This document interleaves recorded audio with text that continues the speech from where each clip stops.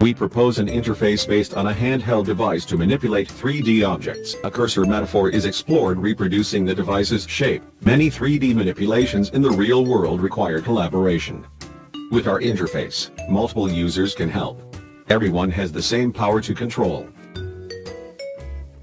We conducted a study to understand the influence of group size in collaborative manipulations. The results show that accuracy increases as a function of group size and work division strategy.